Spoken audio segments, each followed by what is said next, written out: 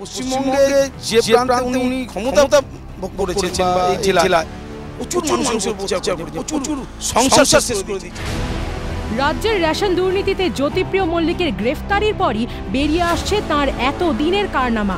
তৎকালীন খাদ্যমন্ত্রী তথা অধুনা বনমন্ত্রীর হাতে ঠিক কতটা ক্ষমতা ছিল এবং তা তিনি কীভাবে কাজে লাগিয়েছিলেন তার পর্দা ফাঁস করলেন প্রাক্তন এক তৃণমূল কর্মী। জ্যোতিপ্রিয়ের দুর্নীতির বিরুদ্ধে প্রতিবাদ করায় মিথ্যা মামলায় জেল খাটতে হয়েছে। মুখ বন্ধ করতে চলে গুলি, প্রাণে মেরে ফেলার চেষ্টাও চলে। সরব জ্যোতিপ্রিয়ের এককালীন সতীর্থ আশিস বন্দ্যোপাধ্যায়। তখন জ্যোতি মল্লিকের নির্দেশে আমাকে উনিশ দিনে জেল খাটানো হয়েছিল। তাদের প্রতিবাদ করার জন্যে মিথ্যে কেস দিয়ে ভগবানের নামে, সেই ঠাকুরের নামে মিথ্যে কেস, ঠাকুর নাকি ভাঙা হয়েছিল ঠাকুরের অস্ত্র ফেলে দেওয়া হয়েছিল। আমাকে মেরে ফেলার চেষ্টা করেছে একবার গুলিচো পর্যন্ত চালানো হয়েছিল। তার এফআইআর কপিও আছে আমার কাছে। তদন্ত হয়নি তার। প্রাক্তন তৃণমূল কর্মীর অভিযোগ আবাস যোজনা একশো দিনের কাজের টাকা লুট এবং নিয়োগের স্বজন পোষণ নিয়ে সরব হতেই জ্যোতিপ্রিয়ের চক্ষু শুল হয়ে ওঠেন।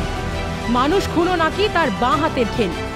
ওনাকে যদি কোনো রকম যদি ওনার যে অন্যায় তার যদি বলে ফেলে কেউ তাকে মেরেও ফেলতে পারে। যেমন বরুণ বিশ্বাসকে মারা হয়েছিল জানেন? বরুণ বিশ্বাসকে খুন করা হয়েছিল গোবরডাঙ্গা স্টেশনে। তার পেছনে জ্যোতিপ্রিয় মল্লিকের হাত আছে। শুধুই কি রেশনে বালুর দুর্নীতি? না প্রাক্তন তৃণমূল কর্মীর অভিযোগ জ্যোতিপ্রিয় নিয়োগ কেলেঙ্কারিরও ভাগিদার। রিঙ্কু দে দত্ত দমদমের কাউন্সিলর বর্তমানে। দমদম মিউনিসিপ্যালিটি ওটা। সে কি করে গোবরডাঙ্গা মিউনিসিপ্যালিটিতে চাকরি পেল? তার সঙ্গে জ্যোতিপ্রিয় মল্লিকের এত ঘনিষ্ঠতা কেন?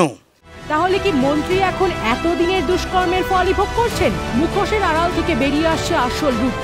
ইডির তদন্ত এগোলে বোধ হয় আরও অবাক হওয়া বাকি।